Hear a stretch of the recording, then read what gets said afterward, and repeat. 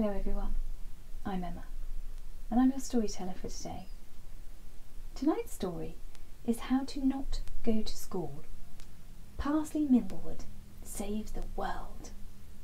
And it's written by Mike Forde and illustrated by Rebecca Sampson. And this is chapters 5 and 6.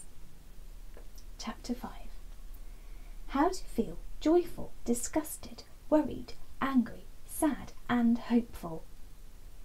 Wednesday, the 1st of April 2020. In the corner of Bo's room, we have a big wooden toy house.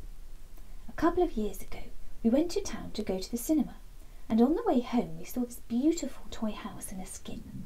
And Mum stopped the car and put it on the back seat on top of me and Bo, and we took it home. We sanded it down, then painted it green and gold. It's called the Inside Out House because the film we watched was Inside Out. We went down to the river and we collected loads of interesting looking stones. Then we painted them with different feelings. I painted a big frowning face on a pointy red stone and called him Anger, and his big brother is a jagged black rock called Rage. Sadness is a perfect round pebble. Disgust is a large brown grey rock with lots of knobbly bits.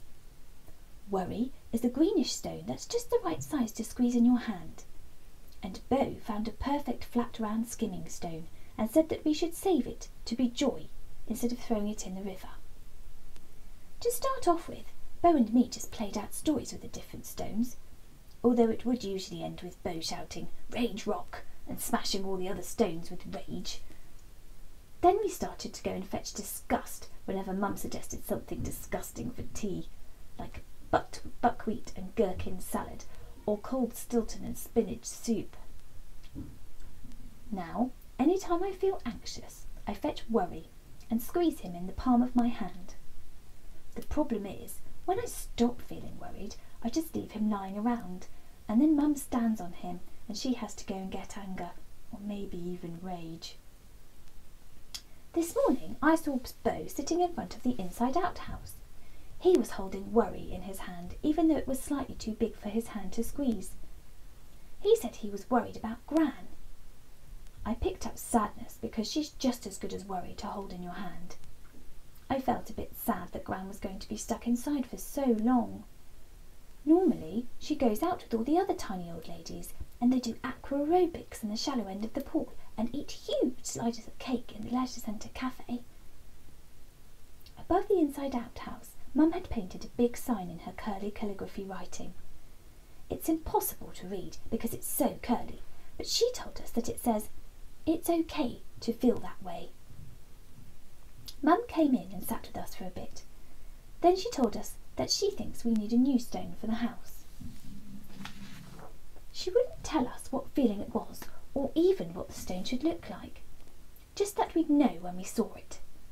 So we all put on our wellies and trudged down to the river. Pretty soon Bo had forgotten about looking for the special stone and was just looking for dinosaur fossils. But me and Mum kept looking for ages and ages until my fingers were frozen to icicles and Bo had made an enormous pile of dinosaur fossils. Eventually I saw the stone we were looking for it was under the water, lodged beneath a big craggy slab that I had to lever up. The stone was really small, about the size of an acorn, and it glistened. When you held it up to the sky, the light gleamed through it, and it sparkled like a crystal. I knew Mum would love it. That's it, she said, beaming. What is it? I asked. It's Hope. We took Hope home and introduced her to all the other stones, and then Mum painted another sign to go above the house. She had to read it out to us because of the curly writing, but it said, Hope is the thing with feathers, which is a poem by Emily Dickinson. We wrote another postcard for Gran, and then I thought all of this would be a good idea to include in my book. Here are some questions that me and Bo thought of. Are you worried too? Bo. Do dragons like soup? Bo. Who could you talk to? Me. How do your grown ups feel? Me. Do dinosaurs like soup? Bo. Is it okay to feel that way? Mum. Chapter 6 The last chapter of my book. Thursday, 2nd of April 2020. This is the last chapter of my book. By now you're an expert on not going to school. You could probably do it in your sleep. Pretty soon you'll have forgotten how to go to school. Now I've finished writing my book, here are some new projects I'm going to try. Build a sea wall across the river. Ask Tui to, speak, to teach me to speak Maori. Learn how to juggle pineapples like Mum.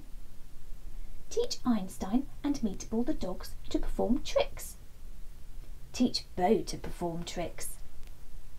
Invent an eighth imaginary friend. Create a stop motion animation with the feelings in the Inside Out house. Phone Gran and write a report about all the interesting things that have happened in her life. Create a friend for Stickosaurus the stick insect. Investigate the number 10. Help Bo learn all the words to I Got Cabin Fever. Thanks for reading.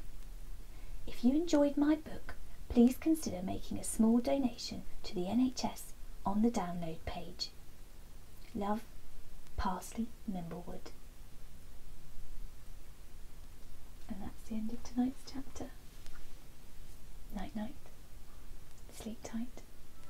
See you soon.